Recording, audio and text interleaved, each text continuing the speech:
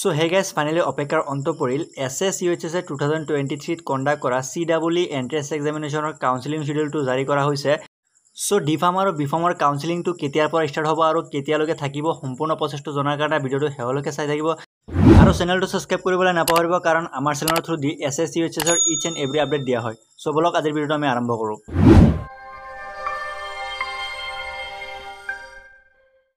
চ' মোৰ স্ক্ৰীণত দেখা পাইছে এছ এছ ইউ এইচ এছৰ ডি ফাৰ্ম আৰু বি ফাৰ্মৰ কাউন্সিলিং নটিচটো ত্ৰিছ আগষ্টত প্ৰভাইড কৰা হৈছিলে।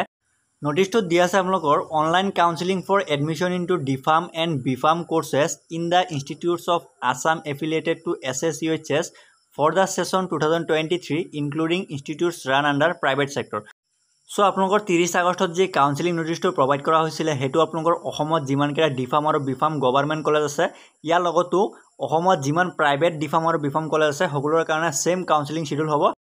চ' আপোনালোকৰ গভৰ্ণমেণ্ট ডি ফাৰ্ম আৰু বি ফাৰ্ম কলেজৰ মিনিমাম কাট অফ কিমান হ'লে আপুনি এডমিশ্যনটো পাব ইয়াৰ লগতো আপোনালোকৰ প্ৰাইভেট ডি ফাৰ্ম আৰু বি ফাৰ্ম কলেজত এডমিশ্যন লোৱাৰ কাৰণে কিমান মাৰ্কছ পাব লাগিব সম্পূৰ্ণ ইনফৰ্মেশ্যনকেইটা আজিৰ ভিডিঅ'ত আমি দিবলৈ চেষ্টা কৰিম চ' ভিডিঅ'টো শেষলৈকে চাই থাকিব।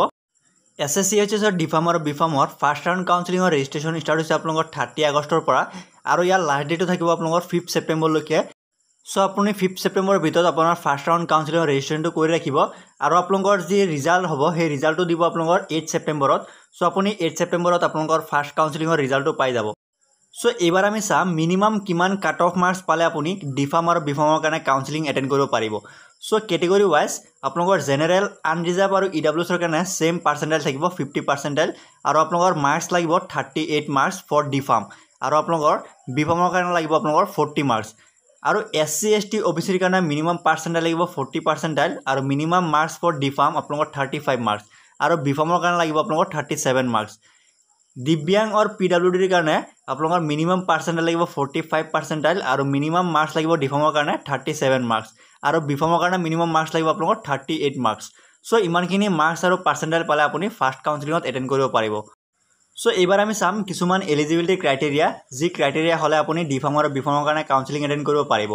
চ' প্ৰথম এলিজিবিলিটি ক্ৰাইটেৰিয়া দিছে applicant must be a citizen of India যিজন ষ্টুডেণ্টে কাউন্সিলিং এটেণ্ড কৰিব তেওঁ এইচ এছ পাছ কৰিব লাগিব ছায়েন্স ষ্ট্ৰীমৰ পৰা with English physics chemistry biology or mathematics subject থাকিব লাগিব আৰু ৰিকগনাইজ বৰ্ডৰ পৰা পাছ কৰিব লাগিব। লাষ্ট ক্ৰাইটেৰিয়াটো দিছে candidate must be a minimum seventeen years so' যিজন কেণ্ডিডেটে কাউন্সিলিং এটেণ্ড কৰিব বুলি ভাবিছে তেওঁৰ মিনিমাম এজ ছেভেণ্টিন ইয়াৰ্ছ হ'ব লাগিব। চ' এতিয়া আমি কাউন্সিলিঙৰ শ্বিডিউলটো চাম কোনটো ডেটত কি হ'ব।